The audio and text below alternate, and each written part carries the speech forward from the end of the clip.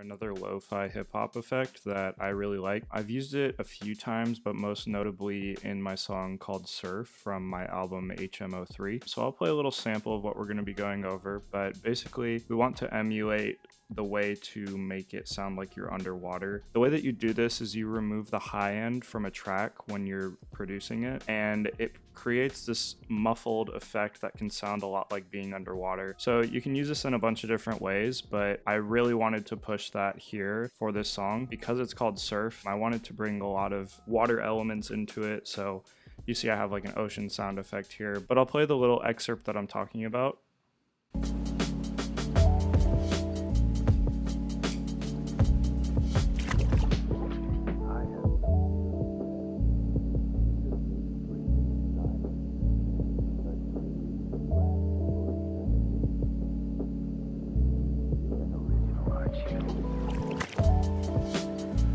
So as you can hear, it sounded like a splash and then you're going underwater and then a splash to come back up out of the water.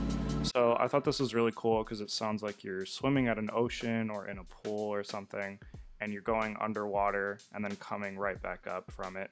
So the way that I do the water sound effect was actually just this effect that I found on YouTube if I solo this. So it's one of just going down, and then when it gets to the end of this excerpt, I actually just reversed it so that it sounds like you're coming back up. Um, so if you hear right here, so I just reversed that to do that. And then the way that I did it on the rest of this is on my master track under my auto filter. I added this from the audio effects. So if you just go to your audio effects, you can drag on an auto filter. You can actually automate this from your master track. So if I select my auto filter, once I drag it onto my master track, I'm going to switch to frequency because that's what we're going to be wanting to change. So I will reset this really quick so that I can show an example of it. When you turn on automation for this, you'll see that there's no red dots because there's nothing applied here and you'll have a dotted red line. So for here, I wanted this sound to start right when the water droplet sounded. So I'm gonna start it here. This is at the top, so there's no frequency being removed as of right now here. But then once it gets to this 21 bar, I want it to drop down a little bit. So we're gonna mark right there.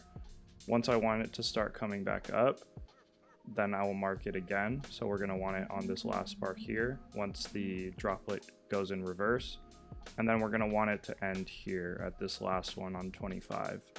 So with that, then I'm going to drag what I want it to automate. So right here, once we're at 21, I want it to go down a bit and remove a bit of the high end so it sounds like it's underwater.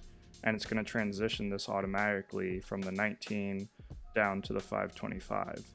So the same thing for here, we're going to want to match these up at 525. So then once I play this again, if I remove the solo,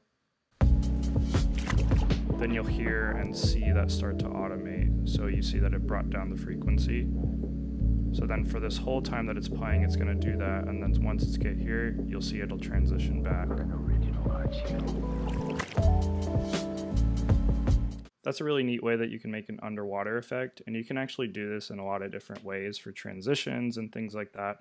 So right before the end of a loop, say like between 25 to 24, you can remove all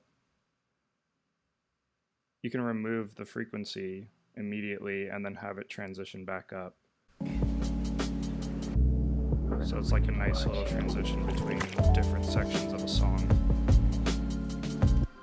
So I hope that was helpful. Um, there's a lot of ways that you can use this, like I said. It's just kind of being creative with it and, using what you know to your advantage. So I've used this in many different ways, not only for an auto water effect. Like I said, you can use this for transitions as well. So I hope that this was helpful. Let me know if you have any other questions or specific things that you want to be able to do in music. I'll be working on some more lo-fi tutorials so that you can be able to make some stuff on your own. Hopefully this was helpful and I'll see you all in the next one.